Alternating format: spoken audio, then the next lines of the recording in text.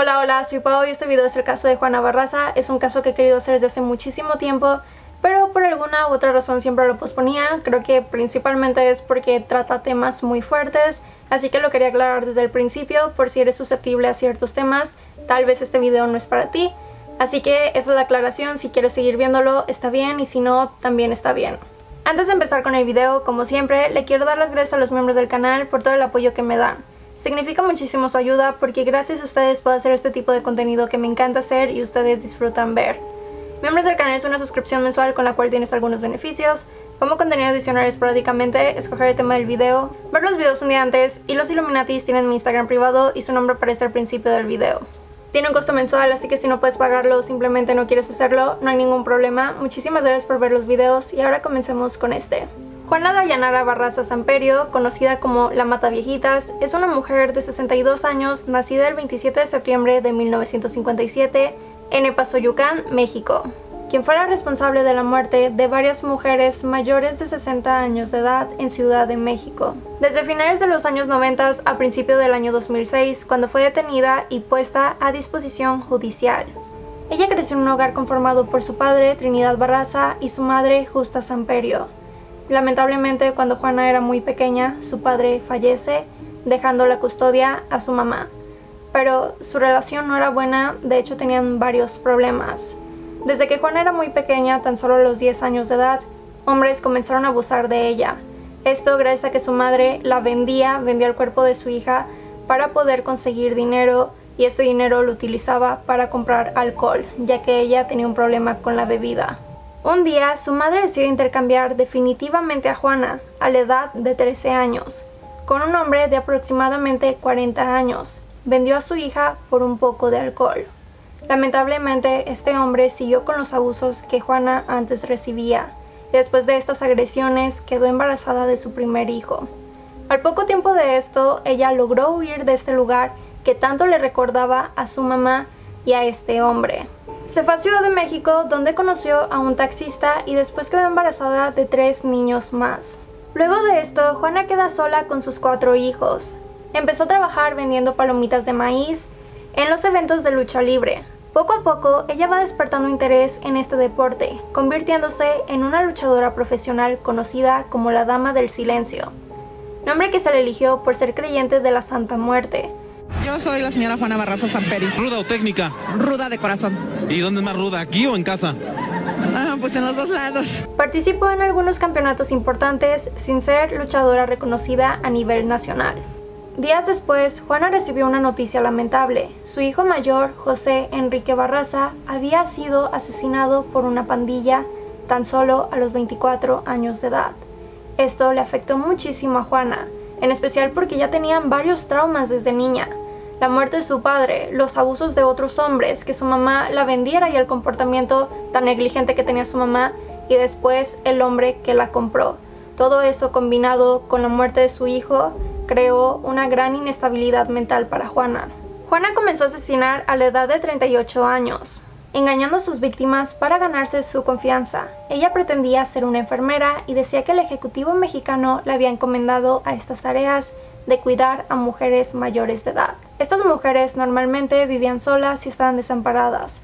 Por ese motivo le abrían las puertas a Juana sin saber sus verdaderas intenciones. Era ahí cuando ella las asesinaba y abusaba de ellas. Se calcula que son al menos 20 víctimas las que murieron a manos de Juana. Todas estas mujeres eran mayores a la tercera edad, estaban solas o vivían solas en el momento de su muerte. Al igual que la mayoría de los asesinos seriales, Juana contaba con un patrón particular al momento de cometer los crímenes.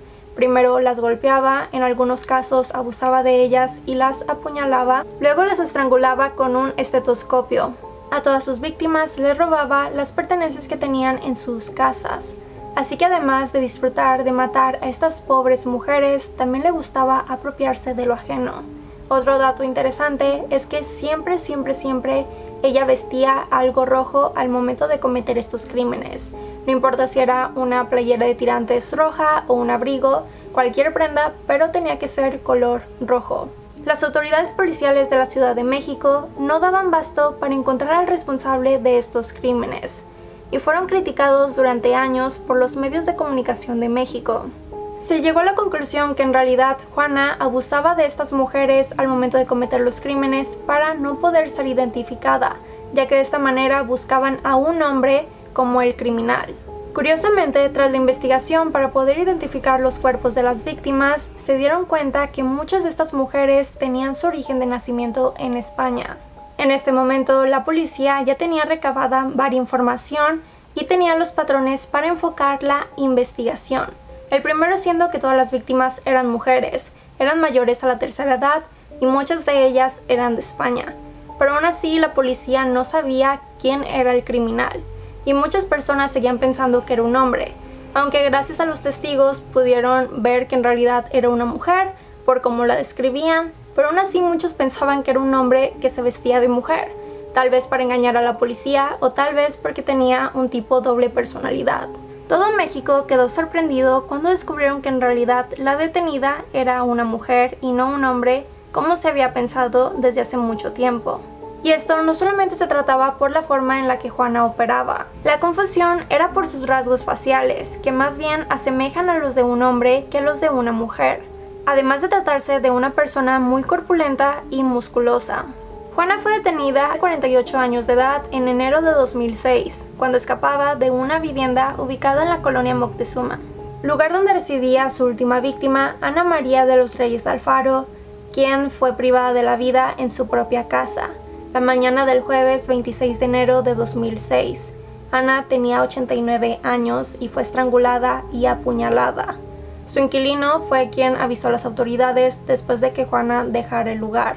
El 31 de marzo de 2008, el juez dictó la sentencia de 700 años y 59 días en prisión por 16 homicidios y 12 robos, pero gracias a un buen abogado le bajaron la sentencia a 50 años. Fue recluida en la penal de Santa Marta, Acatitlán. En una entrevista, Juana dijo que ella odiaba a las señoras porque le recordaban a su mamá y todo el maltrato que ella provocó. Odiaba a las señoras porque mi mamá me maltrataba, me pegaba y siempre me maldecía. Y ella me regaló con un señor grande. Y yo fui abusada. Por eso odiaba a las señoras. Yo sé que no es excusa, que no, no merezco perdón ni de Dios ni de nadie, pero ya lo hice. En 2015, Juana contrajo matrimonio con un interno llamado Miguel Ángel, también de la prisión de Santa Marta, Acatitlán. Es Miguel Ángel Quiroz, soy de Veracruz, tengo 40 años, soy esposo de Juana Barraza Samperio, felizmente casado. Tiene buenos sentimientos, aunque es un poquito dura, pero sí es, es una persona que, que ha cambiado mi vida. Conocimos por medio de cartas y ya después por teléfono, les puedo decir. Nunca les puse una mano encima a mis hijos, nunca. Aunque yo fui una mujer maltratada, una niña maltratada y aún de casada todavía. Aquí con este hombre no. Por eso cuando me casé con él yo le puse reglas. ¿eh? Pero su matrimonio duró menos de un año y se divorciaron. Actualmente ella trabaja en un puesto de tacos dentro de la penal y las personas dicen que siempre está bailando y cantando. Se le ve muy feliz y pareciera que no se arrepiente para nada de sus actos. Juana Barraza va a morir en prisión o en libertad. No, en libertad, lo decreto. ¿Qué va a decir su epitafio? Pues que fue libre, al fin fue libre, a, pesar de todo lo que me acusaban. Gracias a Dios, nunca lo hice. Y es toda la información acerca del caso de Juana Barraza. En la parte de los comentarios por favor déjenme su opinión porque me encanta leerlos. Y si les gustó el video por favor denle like. Si no están suscritos deberán suscribirse y activar la campanita de notificaciones para que les dé notificación cada vez que suba un nuevo video. Si me quieren seguir en mis redes sociales aquí está apareciendo mi Twitter mediocre en el cual no publico nada interesante pero si me quieres ir a seguir eres bienvenido a hacerlo. Y también mi Instagram donde definitivamente me tendrás que seguir porque subo fotos bonitas y estoy un poquito más activa en mis historias. Los quiero muchísimo y nos vemos mañana porque recuerden que este mes estoy subiendo videos todos los días o al menos lo estoy intentando, así que si no te los quieres perder por favor suscríbete, los quiero, bye.